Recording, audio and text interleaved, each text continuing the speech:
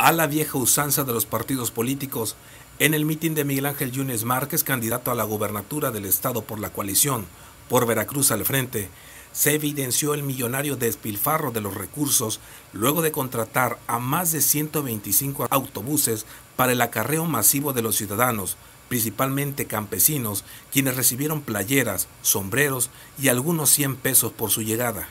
El evento que estaba programado para las 13 horas de este jueves inició con más de dos horas de retraso debido a que muchos de los camiones que fueron contratados llegaban semivacíos al Parque Benito Juárez García. Los niños y personas de la tercera edad tuvieron que esperar todo ese tiempo debajo de los árboles y para refrescarse tomaron agua de Jamaica caliente por la falta de hielo, el cual estaba contenido en un tinaco de 1100 litros, los cuales eran servidos en una manguera de plástico en las botellas que los mismos asistentes llevaban. Antes que llegara el candidato a gobernador, los coordinadores de las rutas, quienes llevaban el registro de las personas que abordaron las unidades, comenzaron a repartir playeras y sombreros de paja entre los asistentes, además que prohibieron que hablaran con cualquier representante de los medios de comunicación debido a que muchos de ellos en ese momento no recordaban los nombres de los candidatos para las 13.30 horas. Personal de confianza del gobierno municipal que encabeza Miguel Ángel Tronco Gómez abandonaron sus oficinas debido a que habrían sido obligados a llevar 10 personas para que pudieran llenar el parque.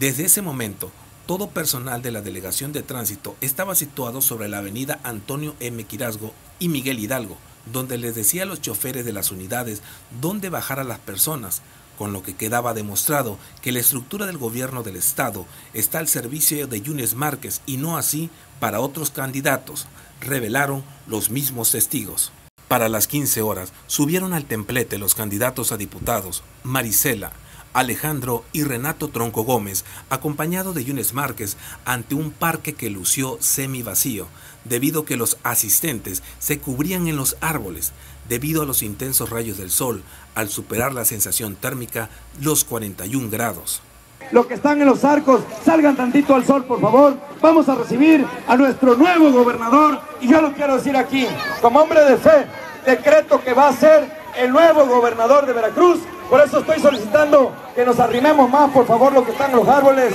un ratito nada más para recibir, para que le den el recibimiento que merece el candidato a gobernador Miguel Ángel Yunes Márquez. Miguel Ángel Yunes Márquez, en las Chuapas, prometió que como gobernador impulsaría el campo con la entrega de equipos y a los niños en educación básica les entregaría zapatos y uniformes de manera gratuita, además de acciones en materia de salud, desarrollo social y seguridad. Al cierre del evento, los asistentes volvieron a las calles para abordar las unidades que los habían llevado, pero debido a la cantidad de camiones, unos habían quedado muy retirados, por lo que niños y ancianos tuvieron que caminar más de 800 metros para poder abordarlos.